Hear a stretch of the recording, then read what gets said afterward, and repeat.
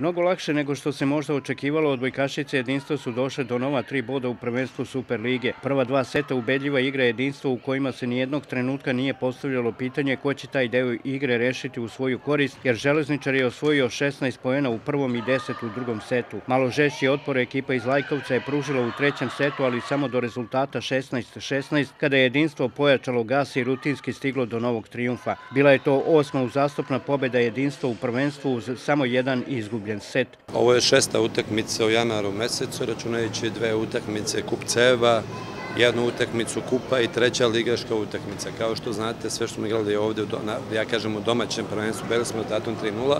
Drago mi je da iz utakmice u utakmicu imamo jedan dobar odnos. Dešava se pad u igri, dešava normalno, ali odnos devojaka na treningu i na utakmicama jako, jako dobar i nadam se da ćemo, kako se sezona bude približavala kraju, imati još bolji odnos i još dići svoj nivo igre za jedno 20 do 30%.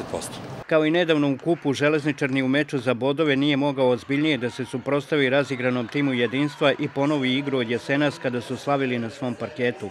Mislim da su od početka do kraja utakmice u svim segmentima igre bili bolji protivnik, i rezultat na kraju krajeva i ona statistička analiza, iako je ja nešto preterano ne volim, pokazuje da, da su parametri upravo bili na njihovoj strani dva i više puta.